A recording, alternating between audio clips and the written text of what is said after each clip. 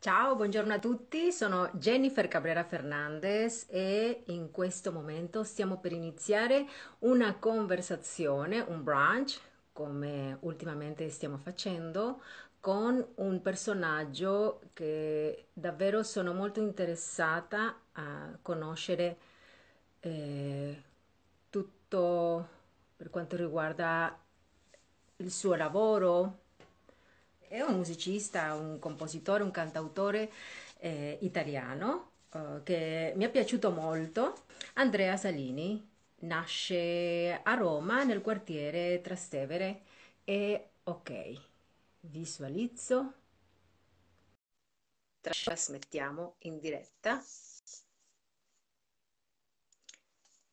E dicevo, Andrea Salini nasce a Roma. Ciao Andrea! Ciao Jennifer, come stai? Ti ringrazio intanto per, per questa conversazione. Eh, ultimamente sto facendo questi brunches perché mh, avendo anche in questi giorni eh, un po' il tempo, mi interessa molto conoscere gli artisti eh, come te eh, in Italia. Mh, avere un po' un piccolo, non dico confronto, però eh, conoscere la spazialità, la profondità di, di tanti artisti che ci sono veramente ehm, non pochi. Saluto anche il maestro Giorgio Rossi che ci sta salutando. Certamente, lo salutiamo anche da qui, da Petrella Salto. Allora, Andrea, nasci mm, a Roma nel quartiere Trastevere il 27 giugno del 1977, l'anno del movimento dei movimenti. Esattamente, esattamente. In quel periodo il mio papà lavorava a Roma e quindi la mia famiglia per ragioni di, di lavoro si trovava lì e io sono nato in quel di Trastevere e ho trascorso una parte della, della mia, della mia infanzia ad Ostia, Lido, e poi dopo siamo tornati nei luoghi di origine. Ok, quindi beh, eh, in effetti qua è scritto, insomma, che trascorri eh, la tua infanzia Ostia, ehm, ad Ostia e poi sì, hai fatto, hai avuto una, un'esperienza anche grazie, forse anche a tuo fratello, eh, sei andato al- all'interno, insomma, di questa spazialità, di questa musicalità molto rock. Sì, sì, sicuramente aver avuto un fratello più grande che era un fan del rock and roll in quegli anni, primi anni 80, ha aiutato molto il mio percorso formativo. Eh, È stata sempre una- un elemento costante nella mia vita la musica. Ho trascorso tutta la mia infanzia ascoltando i nastri de- del rock che c'era in quel periodo e poi eh, la chitarra è diventata un'esigenza e da lì, piano piano, attraverso vari percorsi, è diventata una professione. Quanto, cioè, quanti anni avevi quando hai iniziato a studiare la chitarra? Eh, perché? Allora, il perché è, è legato al fatto che solo l'ascolto poi non, non mi bastava più, quindi volevo provare proprio l'emozione eh, tirando fuori dalle mie mani qualcosa di musicale. I primi tentativi, quando frequentavo l'istituto superiore a scuola a Rieti, da autodidatta, con, eh, ahimè, non grandissimi eh, profitti, da lì poi mi sono rivolto a degli insegnanti professionisti eh, poi quando ero un po' più adulto, diciamo, e lavoravo ancora in fabbrica, ho, ho frequentato l'Istituto Musicale Cherubini di Roma, che è una scuola molto importante, poi l'Università della Musica, dove ho conseguito il diploma in chitarra moderna e poi il primo album nel 2010, insomma, un viaggio che ormai dura da più di vent'anni e che mi ha portato, devo dire, a percorrere tante, tante strade diverse. Sì, in effetti eh, ti ringrazio molto perché mi è arrivato il vostro, il tuo eh, ultimo album, che è il quarto. Sì, esatto, Jennifer, sì, il quarto album. Ehm, qual è stato il tuo percorso? Cioè, quattro album sono, non sono pochi, eh? Cioè, No, no, no. Io inizialmente ero interessato solo a suonare la chitarra, non, non pensavo alla composizione o al mondo della discografia, era quasi un'esigenza quello di suonare la chitarra elettrica in particolare e, e ho messo su una prima formazione, una prima band, un power trio che si chiamava Barricada 22, preso dal titolo di una rock band italiana eh, e da lì, pur di suonare la chitarra, ho iniziato a cantare, la, la, formazione minima prevede chitarra, basso e batteria, e poi qualcuno de, del mestiere ci ha fatto notare che eh, avrei potuto tentare di scrivere cose mie, caldeggiato anche da mio fratello, dalla mia famiglia, da mia moglie, quindi è stato un processo anche involontario, Jennifer, non, non voluto. E quindi quando eh, tu conosci l'altra parte della medaglia, io nella mia vita ho fatto, oltre a, insomma, a laurearmi per, sulla chitarra, ho, ho, lavorato molto anche in ambienti duri, il cantiere, la fabbrica, il bosco, quindi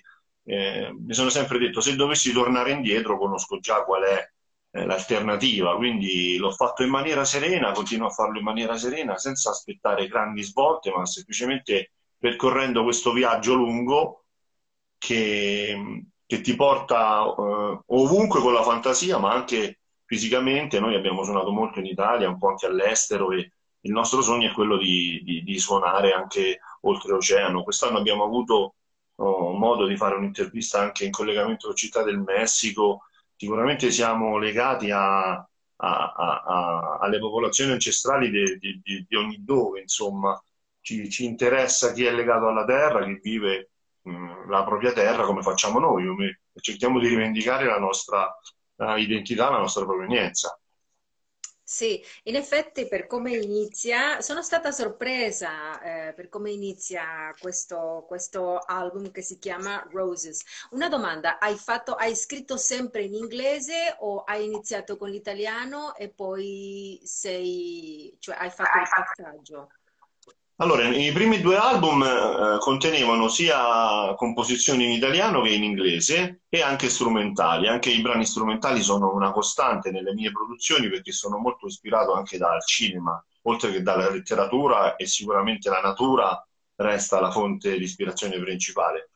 E nel tempo ci siamo accorti che la nostra musica comunque veniva accolta molto in Nord Italia, in Nord Europa e all'estero comunque, anche nei paesi eh, latinoamericani e, e, il sound soprattutto della chitarra elettrica si sposa forse meglio eh, come, come, con l'idioma inglese, quindi eh, è venuto un po' in maniera naturale, senza scelte meramente commerciali, piuttosto con il desiderio di, di dare risalto anche ai contenuti. La mia musica è stata sempre comunque politica nel senso buono della, del, del termine e attenta al sociale, a, Uh, già in Dottor in the Mistride avevamo scritto un brano Made in Messico che parlava del subcomandante Marcos e su Maestrale c'era un brano che si chiama Indios.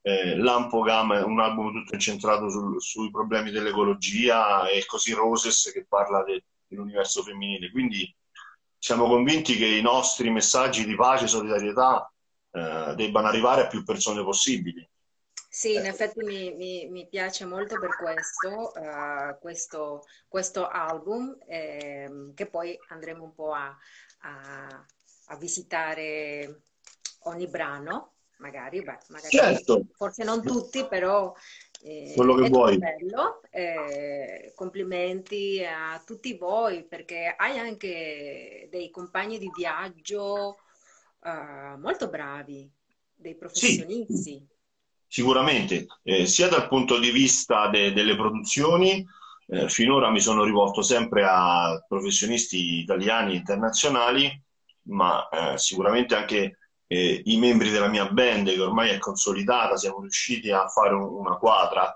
e-, e, saluto tutti i ragazzi, poi se, se avremo modo li saluteremo oh, chiamandoli per nome. Un, un, aspetto difficile per le, per le band rock negli anni mantenere un organico perché quando sei, sei giovane è tutto uno scherzo, ci sono le influenze esterne, e, sai, i ragazzi sono un po' volubili, ognuno poi ha anche la sua vita parallela, quindi cercare dei professionisti assoluti è difficile perché sono sempre in balia dei, dei, dei contratti che possono presentarsi. Quindi io adesso ho, ho, sono riuscito a, a, mettere insieme un, un manipolo di, di musicisti professionisti che fanno altre cose ma che credono molto nel mio progetto e che eh, insieme a me hanno messo a punto un sound che ci contraddistingue perché è mo- molto importante per i musicisti eh, avere una propria identità anche dal punto di vista sonoro, stilistico.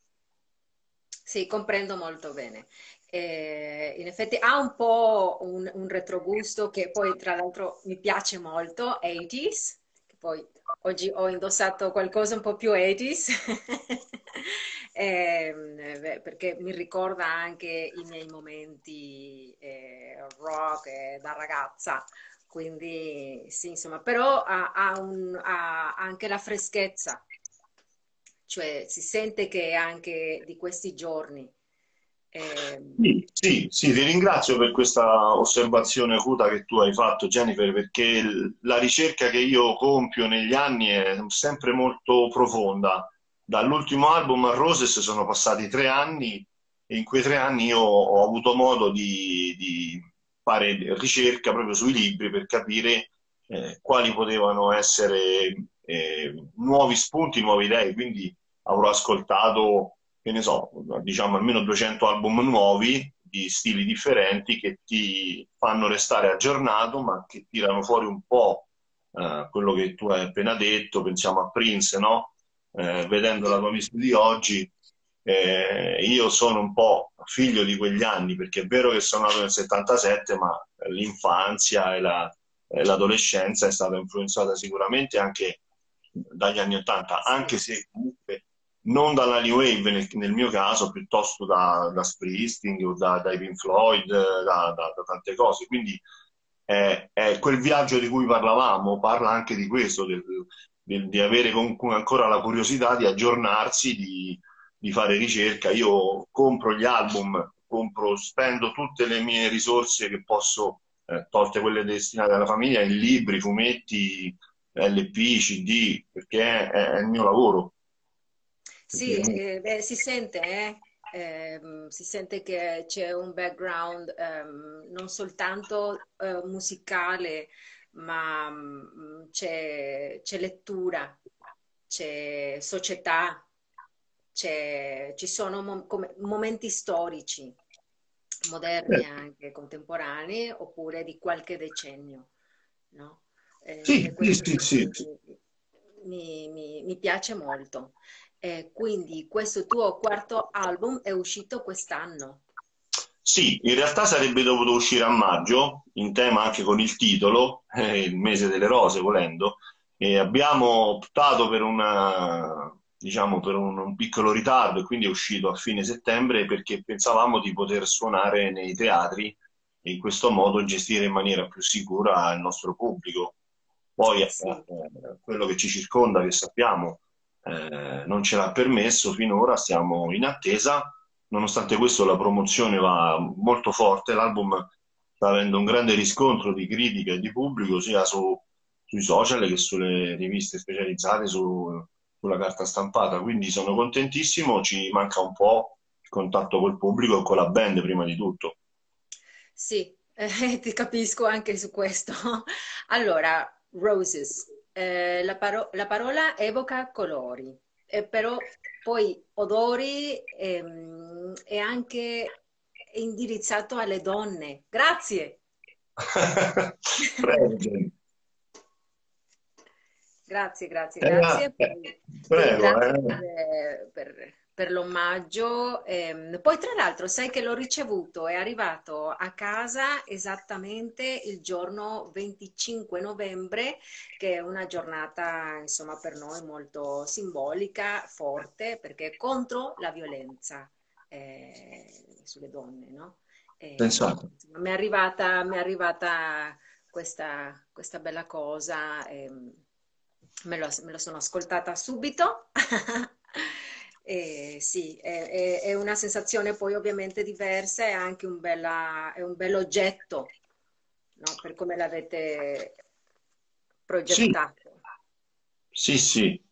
Come, come, hai pensato a questo? Cioè al di là po- della musica, i testi, poi ehm, il primo, dicevo prima, il primo brano è evocativo, quindi ti trasporta. Un po' mi sono sentita anche a casa, eh, mi ha sorpreso. Ehm, dopodiché ci sono uh, i brani eh, cantati, poi tra l'altro hai una bella voce, eh, interpreti bene le, le, le, tue creazioni, che non è scontato, eh?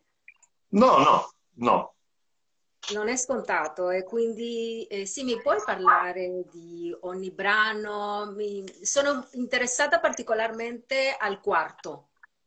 Sì, Verum Rosa. Sì. Sì, guarda, intanto diciamo che tutto è venuto in maniera abbastanza naturale, qualsiasi aspetto della produzione. E Verum Rosa ero alle prese con alcuni libri di alcune scrittrici italiane e ho scritto quei pochi versi pensando al simbolo della rosa come poteva essere impiegato per, eh, come, abbiamo, come c'è scritto nella Rosa dei Venti, per le direzioni o come simbolo forza di resistenza della donna, di femminilità. Eh, gli odori, dicevamo, no? la rosa è un fiore che puoi sentirne il profumo se ti avvicini molto, è come se fosse una sorta di metafora, no? E il fatto delle spine, un, un'immagine che io ho, ho raccolto anche dalle esibizioni che Jimi Hendrix faceva alla fine degli anni 60. Lui era solito mettere una rosa sulla paletta della sua chitarra e io questo gesto l'ho, l'ho, l'ho ereditato da lui e lo facciamo con i ragazzi della mia band dal vivo, in chiusura, se non altro, di scaletta quando suoniamo sempre i Joe, che è un brano che noi reinterpretiamo come omaggio a Hendrix, e quindi eh, è una metafora in generale su, sulle figure femminili che sanno comunque resistere alle avversità della vita e, e, e rinascere poi a primavera, citando un po' Serena Dandini col suo libro Il catalogo delle donne valorose, che, ha, che è stato quello che ha, ha, ha, fatto sì che venisse quel titolo. Ok, Beh, quindi sì, è, è molto, sì, molto particolare, cioè vi, vi, dà, vi inquadra Grazie, grazie Jennifer. E per quanto invece quello che mi dicevi, che sentendo Into the Storm ti sei sentito a casa, quello era il mio intento, insomma. Into the Storm inizia con un, diciamo, uno sciamano che è in grado di prevedere un po' la, la, le tempeste, eh, come si vede per esempio nel film sulla vita di Geronimo, e è un invito a a, a, entrare dentro questa tempesta che è la vita, in particolare la vita degli artisti, che spesso viene fraintesa, no? Sembra una cosa per chi vuole cavarsela con poco e andare in giro con, con le chitarrine, invece è un lavoro come gli altri, eh, che ti impegna sempre.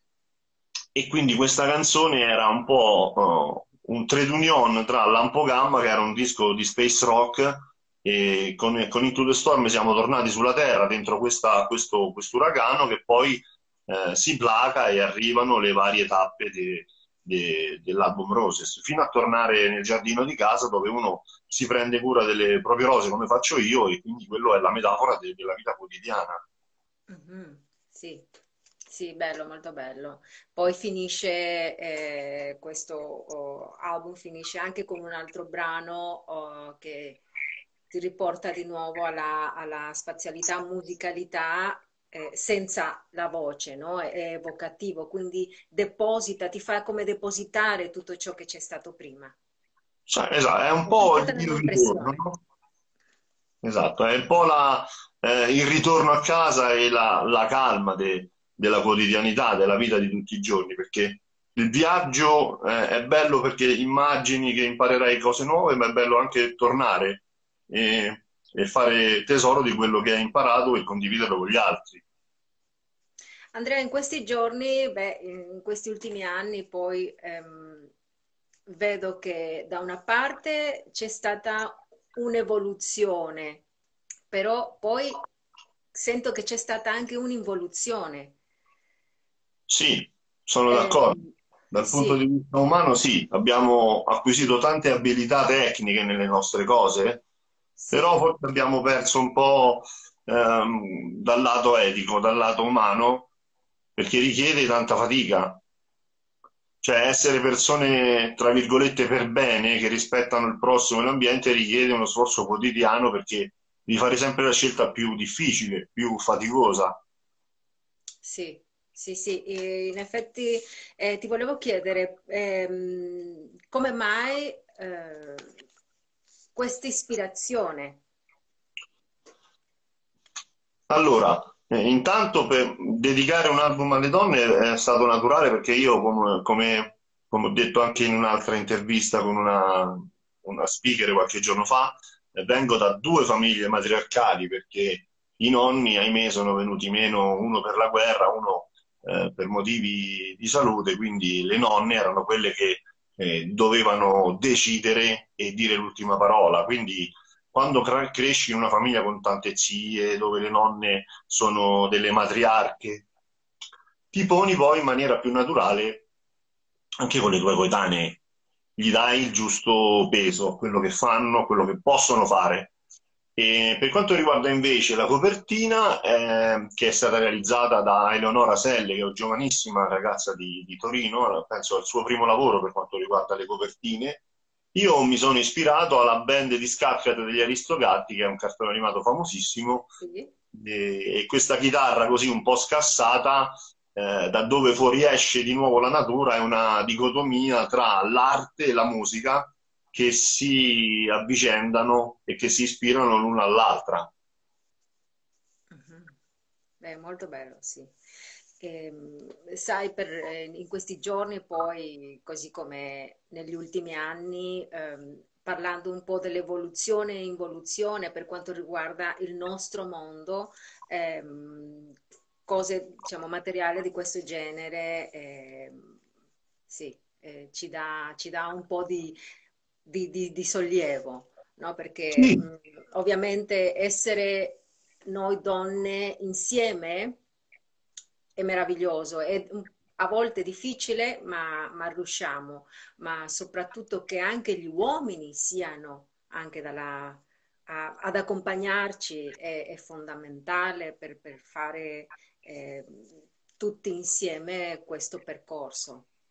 Certo, è proprio da noi che deve arrivare questo, impulso e questo sostegno che ahimè è ancora necessario. E infatti quest'album eh, non è un album che, che io l'ho scritto nella nota introduttiva Le Rose, poi un disco può fare molto, ma concretamente serviranno poi leggi più severe per chi perpetra violenza contro le donne e quant'altro.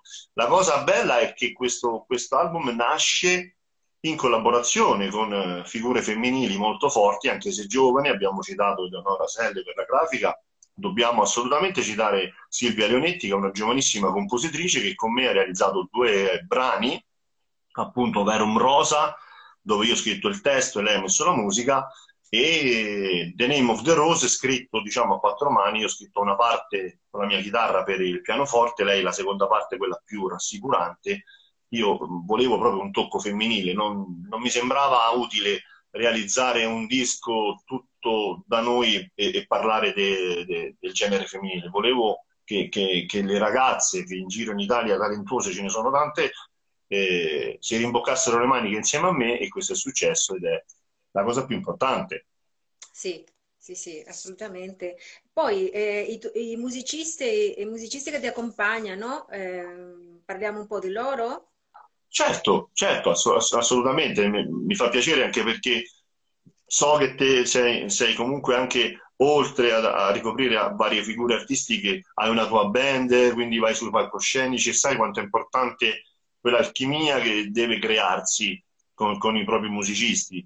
E sicuramente eh, Simone Giallorenzi eh, è stato per la seconda volta il direttore artistico, ha suonato il basso, la chitarra d'obro, eh, altre cose e, ed è una costanza ormai fissa nelle mie produzioni. Poi eh, John Macaluso è un batterista di fama mondiale che da una decina d'anni vive qui a Rieti e che ha avuto modo di, durante eh, l'estate precedente alla produzione di Roses, metabolizzare eh, quei brani che hanno oh, un sound anche metropolitano e a tratti.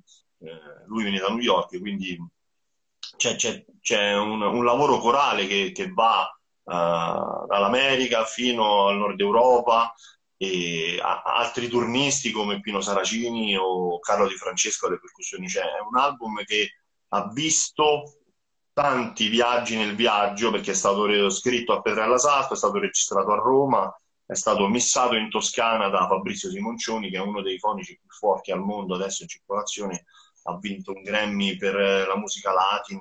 E questi viaggi noi li abbiamo fatti personalmente con la nostra macchina, e poi il mastering a Milano, quindi eh, è stata una grande avventura.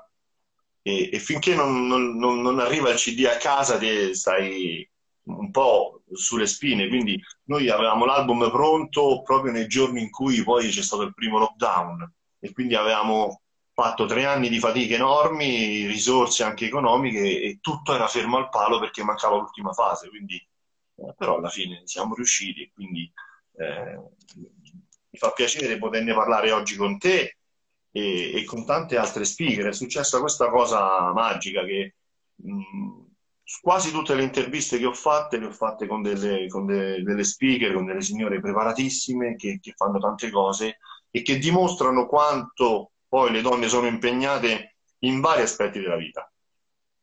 Sì, grazie. E, ehm, e poi Insomma, beh, eh, tra l'altro io non sono una speaker, però eh, appunto sempre per il mio interesse eh, nel conoscere un po' il mondo dell'arte eh, in tutti gli ambiti, poi um, parlando dell'ambito musicale, insomma, mi, mi piace trovarmi no? dentro, sapere, conoscere poi sono, essendo anche, beh, abitando qua, eh, sì, mi piace un po' conoscere questo, questo mondo, no? Da parte di altri, altri, musicisti e poi di un genere eh, molto diverso da, da quello che, che, no, che, realizzo, però insomma la musica eh, è tutta, non, non, non, bisogna avere un, un, linguaggio in sé, parlando poi de, appunto de, sempre della parte musicale. E poi questa, questa scelta, secondo me, però questo è solo secondo me, è, è, della lingua è, è, stata importante. Cioè, sì. non solo musicalmente, però eh, um, così avete anche un'opportunità di, di avere altri uh, ascoltatori che capiscono anche eh, il, il, testo, perché il testo è molto importante eh, nelle, certo. nelle tue sì, opere. Sì, è importante perché il messaggio eh, non può essere frainteso quando prendi una posizione, quando ti, ti, schieri da una parte di qualcuno, nel nostro caso è dalla parte di chi ha più bisogno d'aiuto.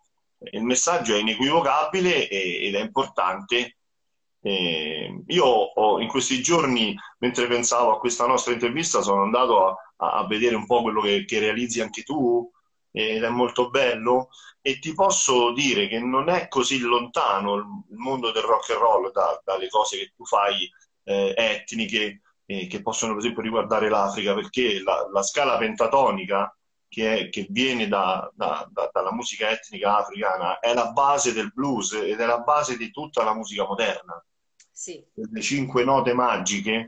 Il problema è che a volte vengono un po' eh, usate senza troppo eh, cuore, senza troppo, senza troppo sentimento. Quindi quello che dicevamo prima, eh, oggi è pieno di musicisti che sanno suonare tutto, che possono sì, sì. riproporre qualsiasi cosa con la tecnologia, con le tecniche. C'è il web che ben venga, ci mette a disposizione eh, tante lezioni anche gratuite e tutti possono emanciparsi e fare delle esperienze.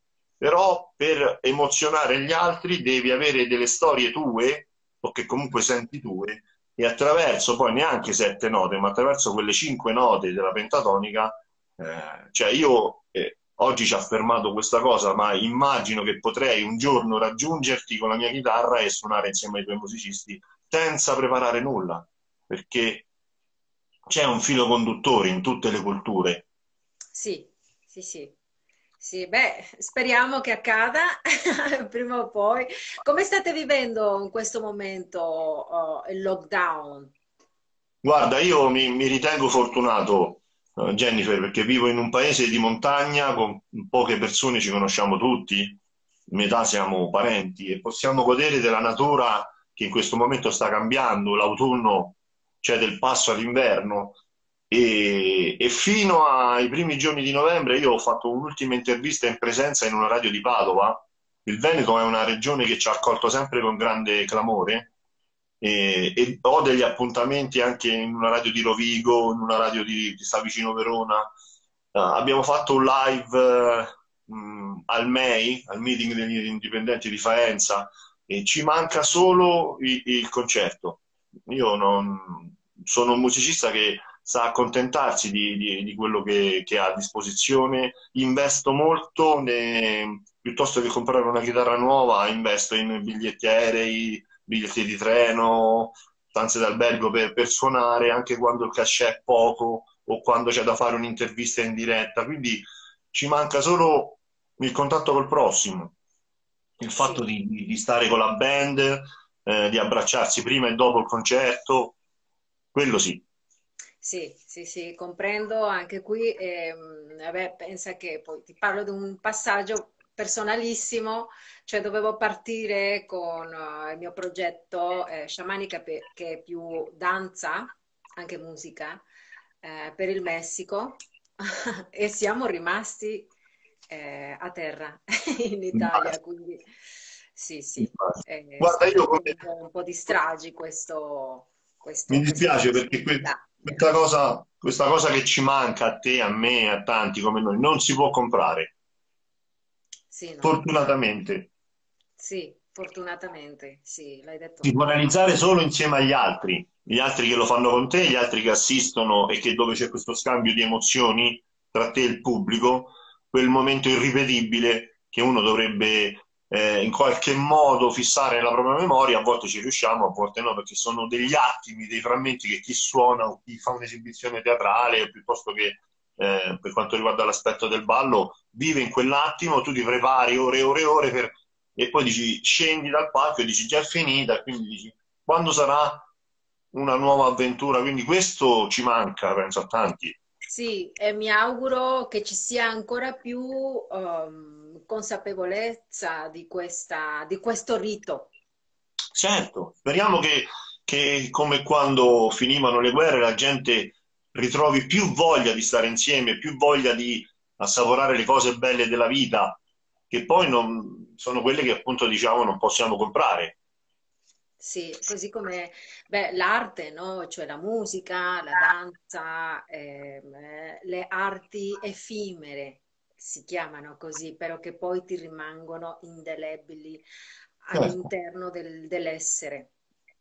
Il sì. teatro in sé, ma qualunque spazio anche all'esterno, dal momento in cui tu fai un movimento, fai una nota, fai qualcosa che hai trasformato no, i tuoi pensieri eh, si cristallizzano in qualcosa di, di, di, diverso, di evocativo, eccetera, insomma, è, arte, è, è, teatro. Non ci vuole il, il, la pedana.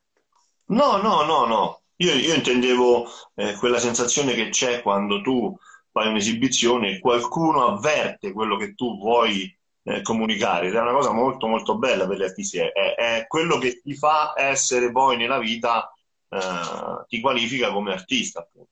Sì, assolutamente. Ma mh, mm, dimmi una cosa, questo uh, concerto che avete fatto uh, live, eh, l'avete fatto uh, tutti insieme, solo alcuni di voi? Come, come è stato fatto? Era... Grazie per questa domanda. Erano credo i primi di ottobre e siamo riusciti ad andare solo in tre perché due dei miei ragazzi, Fabio Vestili alla batteria, era alle prese con un grande esame per, per la sua carriera di avvocato, che è andato poi benissimo, e l'altro ragazzo, Francesco Marianetti, era uh, alle prese con, un, con um, sempre con la sua professione, che lo vede in giro, e quindi siamo andati in eh, tre, quindi due chitarre acustiche con i cori e il basso eh, di Daniele Signorino, con me c'era anche Domenico Di Girolamo, così li abbiamo nominati tutti ed è stato rivivere qualcosa che mh, ci ha rifatto respirare proprio, perché anche se eravamo solo in tre, abbiamo suonato su un palco, c'era molto volume, c'era molta gente, era all'aperto, a Faenza, in una città bellissima, al meeting delle etichette indipendenti abbiamo incontrato alcuni dei nostri eroi, eh, Timo, o, come Omar Pedrini de, dei Timoria che ci ha autografato i dischi che avevamo comprato da ragazzi, abbiamo parlato con lui, è stata un'esperienza veramente bella che per un attimo ci ha fatto tornare alla nostra vita. Poi abbiamo fatto anche altre cose in diretta, acustico, nel, nelle radio, ma no, non è uguale. L'unica sensazione rivissuta è stata quella di questo set unplugged eh, nella piazza di Faenza che ci ha fatto respirare di nuovo e ci ha dato un impulso nuovo per comunque continuare. Anche solo un concerto può rimetterti un po' a galla. Sì, sì, sì, infatti stavo per dire molto unplugged, che è anche sicuramente molto, molto bello, diverso, molto interessante come, come, come suono, più da ascolto. Più intimo, sì, abbiamo proposto Love Song, abbiamo proposto Roses e anche alcuni brani come, se non ricordo male, Indios e la canzone del lupo, che sono dei singoli de, delle prime produzioni che comunque ci, ci caratterizzano, caratterizzano il nostro eh, modo di, di, vedere le cose, di, di, pensare anche al prossimo e a, ai problemi che ci sono eh, in giro. Insomma, anche quando sarà passato il Covid, eh, i problemi da affrontare ce ne saranno molti, eh, non solo quello de, delle disuguaglianze sociali, de, delle categorie più in difficoltà.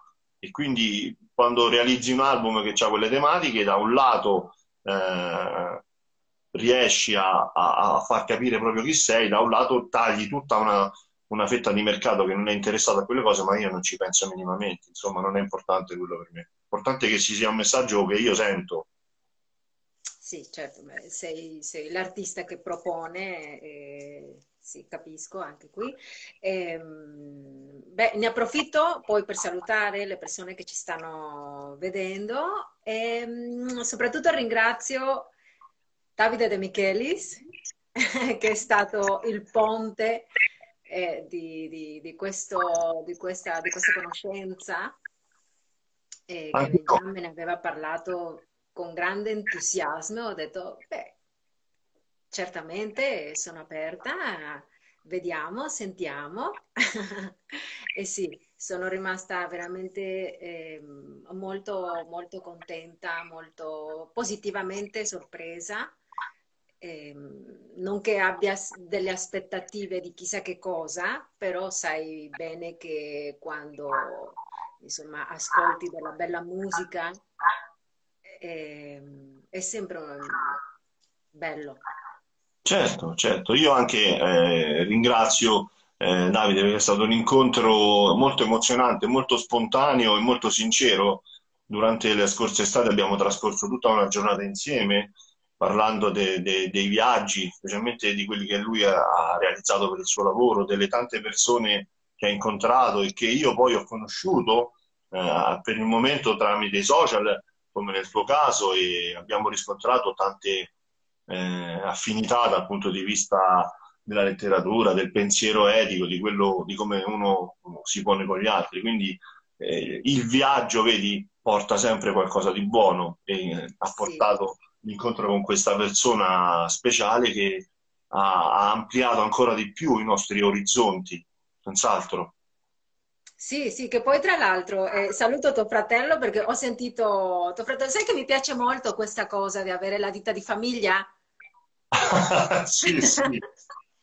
È bello, è bello. È bello perché è successo in maniera naturale negli anni. All'inizio, quando abbiamo fatto il primo disco, sembrava quasi una sorta di laurea, di tesi di laurea, poi invece negli anni io ho perseverato a lungo e persevero e quindi è venuto naturale che, che anche la figura di mia moglie Arianna è, è molto presente. Lei, ehm, come ti dicevo, mi aiuta anche per quanto riguarda il lavoro sui social o delle scelte anche stilistiche. Alcuni brani che ha proposto come cover eh, li abbiamo presi dalle sue idee quando registrammo l'Ampogamma mi disse perché non metti una cover dei Credence e Bad Moon Rising e sta lì grazie a lei tante canzoni le ritroviamo perché lei mi diceva registrati che poi non ti ricordi e quindi l'aiuto valido di, una donna che poi è tua moglie è sì, un'azienda di famiglia in pratica, sì. Sì, sì, sì brava, bravi tutti.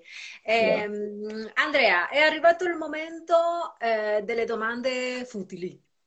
Ma no, io sono curioso di ascoltarti e aspettavo. sì. Allora, ehm, quando vai a letto, quando dormi, così, ehm, pancia in su, in giù, di lato? Ma non, non c'è un, un rito particolare. Io spesso arrivo, vado a dormire con le mani e con i piedi, stanchissimo, riesco a leggere qualche riga e cerco sempre, prima di dormire, questo lo faccio sempre, di farmi un esame di coscienza, di, di capire se almeno per quel giorno eh, mi sono comportato bene verso il prossimo. Questa è una cosa che, che faccio sempre. Molto profondo. E, um, preferisci il tè o il caffè? Ma a tratti tutti e due. Da, sono un italiano, diciamo, un po' atipico perché eh, se c'ho capirà. tempo, la birra su tutto. Eh, se, se ho tempo mi piace molto il tè. Quando mm, mi serve una, una cosa di carica, in- subito prendo il caffè, però.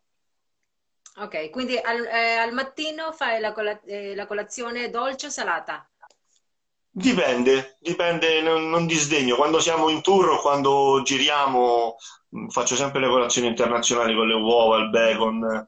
Quando sono a casa dipende da- dal tempo. L'inverno facciamo sempre una spremuta anche per mia moglie perché lei lavora in sanità con i bimbi piccoli, quindi è una sorta di, di scudo. E comunque in generale io sono un buon gustaio, Jennifer, nel senso che mi piace la buona tavola, mi piace il vino, la birra, qualsiasi cosa la terra eh, ci può offrire da quel punto di vista. Anche se Bene. sono uno sportivo, faccio attività sportiva in maniera intensa, mi, mi tengo in forma. Dipende dal momento. Sì, sicuro. Ma mm, poi tra i vini preferisci il bianco o il rosso? Preferisco il bianco.